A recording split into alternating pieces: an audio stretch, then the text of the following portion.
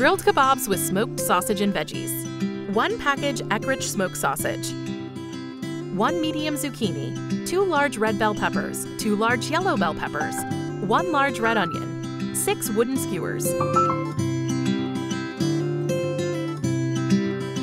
In 1894, Peter Eckrich brought his heritage into a new world.